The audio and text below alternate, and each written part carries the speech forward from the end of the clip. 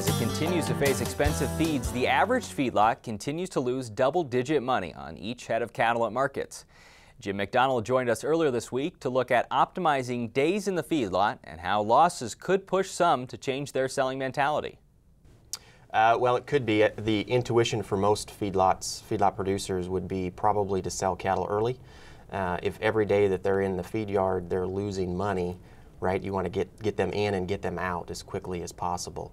Um, feedlot losses per head this year are in the 40 to 70, 75 dollar range for a, a, calf going on feed this fall and coming out into the spring. So uh, profitability doesn't look very good. So as you said, we're looking right. for ways to minimize loss rather than maximize profit. And that's probably better than it has been even. Uh, recently, yes. um, so there's a, there's a principle in cattle feeding that says you want to continue to feed cattle until the cost of putting on a pound of gain is greater than the price that you receive for that pound of gain.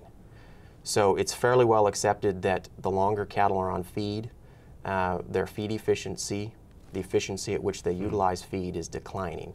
And so again, uh, knowing that producers typically want to try to pull the trigger early when they're losing money uh, to minimize that loss. You did studies to see if that might be the best practice to use. You're looking at both live weight and a carcass weight basis on these cattle. How did you track it? That's different because normally you see the weight, as you said before, you see the weight when you go into the feed yard, you see the weight when you come out. So what are you looking at that's different?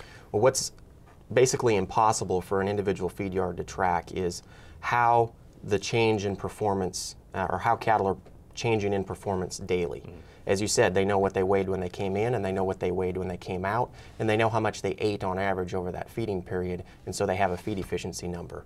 Uh, but to know how efficiency is changing throughout the feeding period is basically impossible to track on an individual set of cattle. Uh, fortunately, through the university system, uh, we, we regularly uh, weigh cattle throughout our feeding period uh, in any research trial that we do. And we've got uh, good information from the literature that we can estimate carcass weight from live body weight. And so we can track how average daily gain is changing both on a body weight basis and on a carcass weight basis throughout the feeding period. From those numbers, what are you looking at? What is it, what is it best to do? What's the analysis here? Well, uh, if you're if you're marketing on a on a live basis, which relatively few producers in Nebraska would do, uh, you probably want to market uh, about to the same endpoint that you would normally do. So if a calf is on feed for 140 or 150 days, our analysis would say that on average that's about the optimal time to minimize your loss. Uh, if you're marketing on a carcass weight basis uh, or selling in the beef, our analysis would say that you would probably want to feed them longer than what you normally would. And the reason for that is even though efficiency is declining through the feeding period, efficiency on a live weight basis and efficiency on a carcass weight basis change differently. So that the transfer of weight from the live animal to the carcass increases through the feeding period. So for example, early on in the feeding period, every pound that that animal gains, about 60% of that is going on to the carcass.